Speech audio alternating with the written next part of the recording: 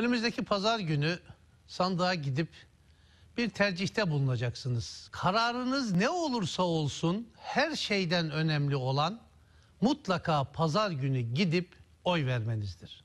Bu bir vatandaşlık görevidir.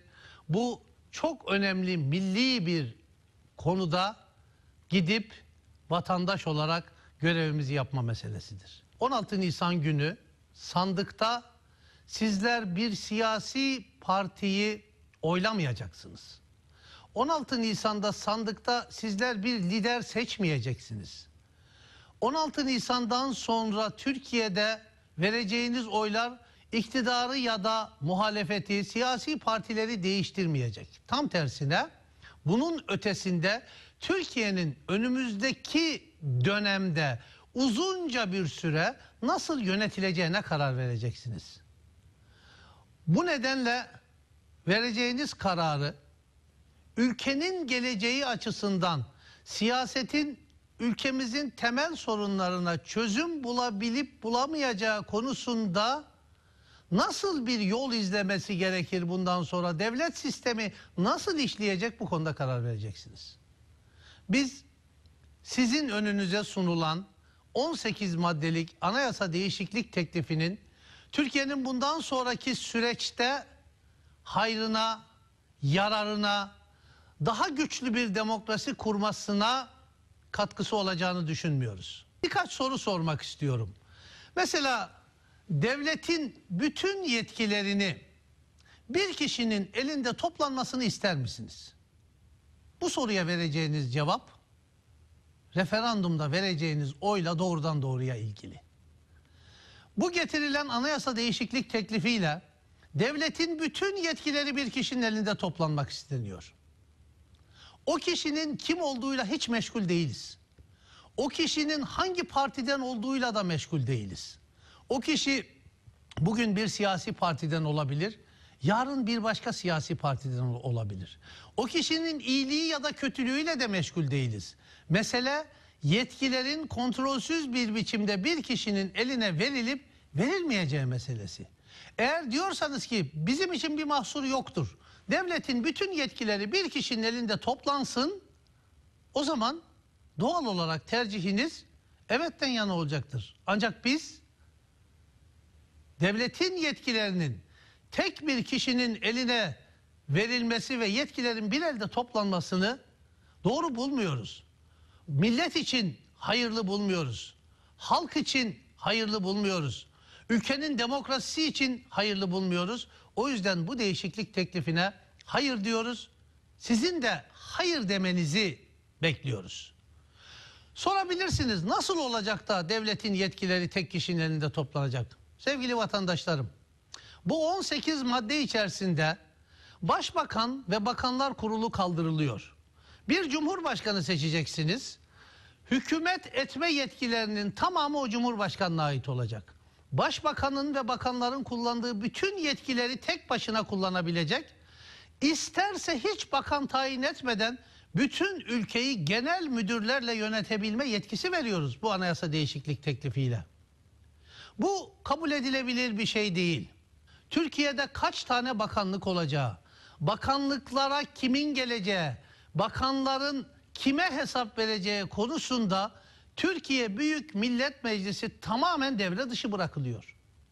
Türkiye Büyük Millet Meclisi'nin bu konuda hiçbir söz hakkı olmayacak ve tek kişi kaç bakanlık olacak, bakanlıklar nasıl kurulacak, nasıl kaldırılacak, kim bakan olacak, nasıl azledilecek hepsine tek başına karar verecek.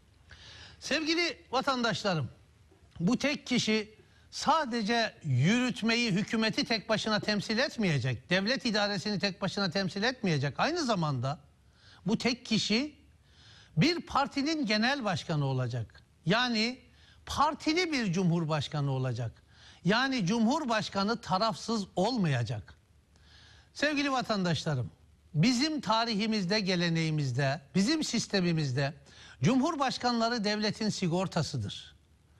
Cumhurbaşkanı devlet kurumları arasında çatışma olursa ya da devletle millet arasında bir çatışma olursa denge unsurudur. O yüzden Cumhurbaşkanı partili olmaz. Cumhurbaşkanı partili olursa o partiye oy vermeyen vatandaş ile yani cumhurun bir yarısı ile yüzde ellisi ile başkan arasındaki gönül bağı kopar. Kendisini o partiden hissetmeyen vatandaşlarımız kendisine devlette de yer bulamadığını düşünmeye başlar. Devletin, milletin, ülkenin birliği sarsılmaya başlar. O yüzden gelin partizan cumhurbaşkanı yaratacak bu teklife hayır diyelim. Gelin devletin sigortasını ortadan kaldıracak bu teklife hayır diyelim. Düşünebiliyor musunuz? Bir siyasi partinin genel başkanı Türk Silahlı Kuvvetlerine emir verecek. Bir siyasi partinin genel başkanı Türkiye Büyük Millet Meclisi'ni istediği gibi kontrol edebilecek. Bir siyasi partinin genel başkanı yüksek mahkemelere yüksek hakimler tayin edecek. Kendi oy verdiğiniz partinin genel başkanı olduğu zaman belki problem gibi görmeyebilirsiniz. Ama bir gün unutmayın ki sizin oy vermediğiniz bir partinin genel başkanı da cumhurbaşkanı olabilir. İşte işte o zaman o zaman milletin kendi içerisinde bu sistemle nasıl bir ayrıştırma yaratacağını tahayyül bile şimdiden edemezsiniz. Sevgili vatandaşlarım, böyle bir tablo içerisinde yargıyı tek başına kontrol edebilen bir tek adam rejimi yaratılıyor. Bu kişi Türkiye Büyük Millet Meclisi'ni canı istediği zaman feshedebilecek. Hiçbir gerekçe göstermeden. Feshettiği zaman kendisinin de seçime gidiyor olması bir şey değiştirmez. Örneğin Türkiye Büyük Millet Meclisi 301 imzayla suç işlediği iddiasıyla Cumhurbaşkanının yargılanması için meclis soruşturma önergesi verse ertesi gün Cumhurbaşkanının meclisi feshedebilme yetkisi var. Bu tek kişi Hakimler ve Savcılar Yüksek Kurulu'nun yarısına yakınını tek başına tayin edecek 13 kişinin 6 üyesini.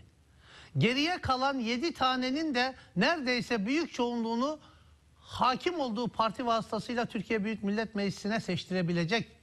Bu yargıyı mahkemeleri tek kişinin eline vermek demektir.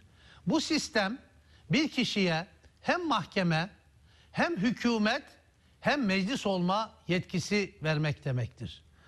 Sevgili vatandaşlarım, biz bir tek adam rejimi istemiyoruz. Tek adam rejiminde vatandaşın zulme uğrayacağını görüyoruz, biliyoruz. Tek adam rejiminde mutlaka tek kişinin kötü niyetli olması gerekmez. İnsan beşer bir gün şaşar. Hata yaparsa ne olacak?